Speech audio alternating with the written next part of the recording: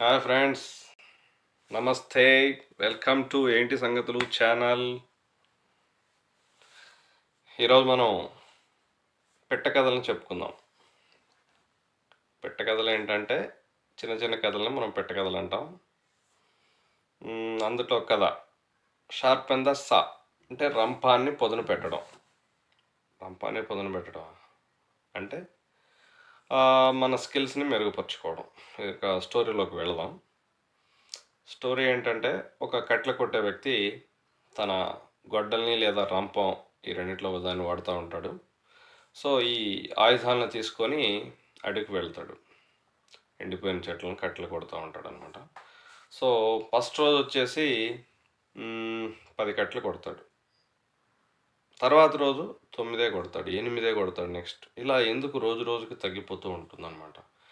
అతనికి అర్థం కాదు. అప్పుడు ఒక ఒక పెద్ద మనిషిని అడుగుతాడు. ఏందండి నేను మరి నేను మొన్న పది కొట్టాను నేను తొమ్మిది ఈరోజు ఎనిమిది కొట్టాను అసలు కొట్టలేకపోతున్నాను ఎక్కువ రోజు రోజు తగ్గిపోతుంది మళ్ళీ అదే ఎనర్జీ అదే బలాన్ని వాడుతున్నా అదే కట్టెలు గొడ్డలు కానీ ఆ యొక్క రంపాన్ని వాడుతున్నాను ఎందుకు కొట్టలేకపోతున్నాను అంటే ఆ యొక్క పెద్ద మనిషి చెప్తాడు సలహా ఇస్తాడు. బాబు నువ్వు బలం అయితే వాడుతున్నావు రంపం కూడా అదే వాడుతున్నావు కానీ రంపానికి ఉన్న పొదనైతే ఏదైతే ఉందో అది అరిగిపోతున్నాయనా దాన్ని మళ్ళీ షార్ప్ చేసుకోవాలి. అంటే మనకున్న స్కిల్స్ కూడా ఉంటాయి కొన్ని. ఆ స్కిల్స్ని మనం అలా వదిలేస్తే ఫర్ ఎగ్జాంపుల్ ఒక ఆటగాడు ఉంటాడు.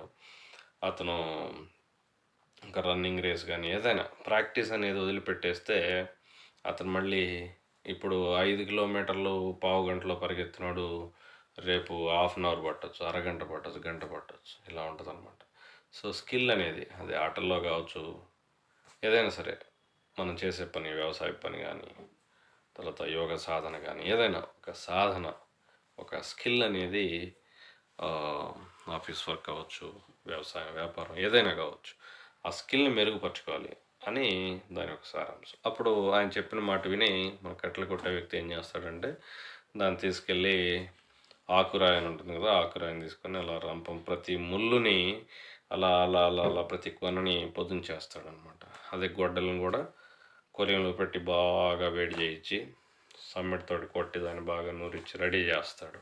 ఇంకా దాన్ని తీసుకెళ్ళి నెక్స్ట్ రోజు కొడతాడు.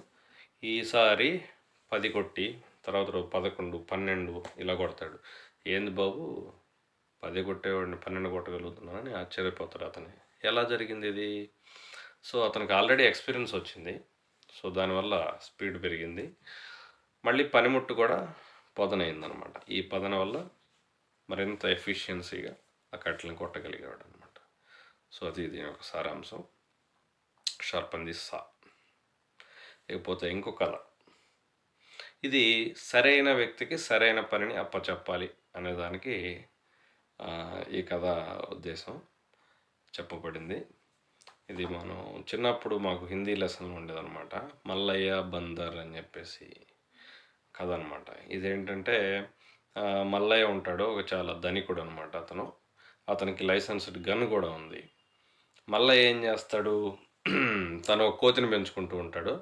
ఓ రోజు కోతికి తను నిద్రపోతుంటే ఆ ఈగలు డిస్టర్బ్ చేస్తూ ఉంటాయి బా కోతి చెప్తాడు "ఆ, బందర్ నా మీద ఈగలు వాళ్ళకుండా తోలు అని డ్యూటీ అప్ చెప్తాడు.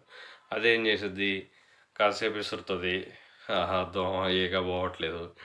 పోయి మళ్ళీ వస్తుంది మళ్ళీ విసురుతుంది మళ్ళీ వస్తుంది మళ్ళీ ఈ ఏందిరా ఇది? పోవట్లేదని చిరాకేసి కోతి ఇక విచక్షణ కోల్పోయి గన్ను తెస్తుంది అనమాట లైసెన్స్డ్ గన్ ఉంది కదా మళ్ళీ ఇది. దాన్ని తెచ్చి ఆల్రెడీ దాంట్లో బుల్లెట్స్ లోడ్ అయి ఉన్నాయి. ఇక తీసి ఆ ఏక గురబెట్టి ఠాట్ అని పేల్చుద్ది. ఏకేమైతే ఎగిరిపోయింది అది వెళ్ళి మళ్ళీ తలకి తగిలి వస్తాడు సో దీని సారాంశం ఏంటంటే ఎవరికి ఎలాంటి పని అప్పచెప్పాలి అనేది ఈ యొక్క కథ సారాంశం అనమాట ఇలాంటిదే మనకి తెలుసు కదా. బట్టలు ఉతికే వ్యక్తి గాడిద కుక్క కదా దీన్ని కూడా ఇప్పుడు మనం తెలుసుకుందాం. ఒక బట్టలు ఉతికే వ్యక్తి యొక్క వ్యక్తికి రెండు ఉంటాయి అవి ఒక గాడిద మరియు కుక్క. రెండు జంతువులను సాగుతూ ఉంటాడు. అయితే గాడిద పని ఏంటంటే ఊర్లోకి వెళ్ళి అన్ని బట్టలను తీసుకొని ఆయన మూటలు కట్టుకుంటాడు. అటో మూట ఇటో మూట. ఆ మూటలో కొన్ని మూటలో కొన్ని బ్యాలెన్స్లు వేసుకొని వాటిని నింపుకొని తీసుకొచ్చి చాకరేవుకి తీసుకెళ్తాడు. చాకరేవులో బట్టలు తుతారు కదా బట్టలు ఉతికి ఆరబెట్టి నీట్గా మళ్ళీ మడతేసి సేమ్ అదేవిధంగా ఈ మూటలో కొన్ని ఆ మూటలో కొన్ని వేసి బ్యాలెన్స్డ్గా ఇంకా లేదన్నా వరిగడ్డి కానీ ఇంకేదైనా దానికి సంబంధించిన పనిముట్లు దానికి అవసరమైన ఏమైనా సరే ఆ గాడిద మీద బరువులు మోయటానికి గాడిదను వాడతారు. అది వేసుకొని వచ్చి మళ్ళీ తన పనిని నిర్వర్తించుకుంటూ ఉంటాడు.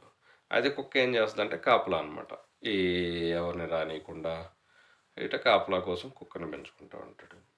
అయితే ఓ రోజు అర్ధరాత్రి పూట గాడిద కుక్క బాగా తినేసాయి. అయితే ఆ రోజు కుక్కకి ఎందుకో కోపం రావటం లేదంటే ఆ ఊరక ఆకలి ఎక్కువ తమాషా చూద్దాం అనుకుందో అది దొంగలు సంథింగ్ జనాలు సప్పుడు అవుతూ ఉంది అది మాత్రం అరవలేదనమాట ఇదేంద్ర అరవట్లేదని గాడిద చెప్పింది. అదేంది నువ్వు అరవట్లేదు అని. అదంటది నా ఇష్టం నేను అరవను. ఏం చేస్తావు చేసుకో.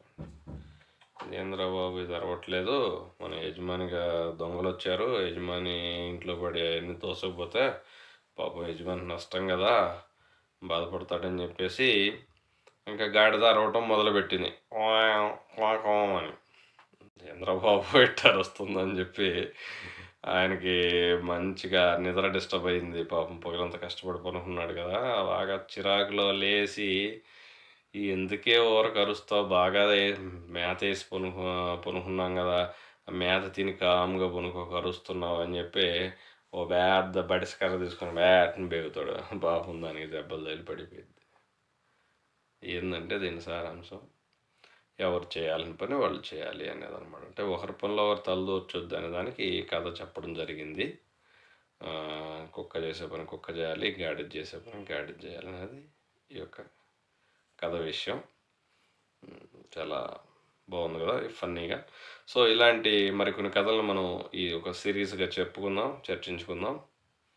ఓకే? ఈ కథలు మీకు నచ్చాయని భావిస్తున్నాను. Thank you so much. మన ఛానల్ని ఎవరైనా సబ్స్క్రైబ్ చేయకపోతే చేయండి. షేర్ కూడా చేయండి. Thank you. Thank you so much. Bye.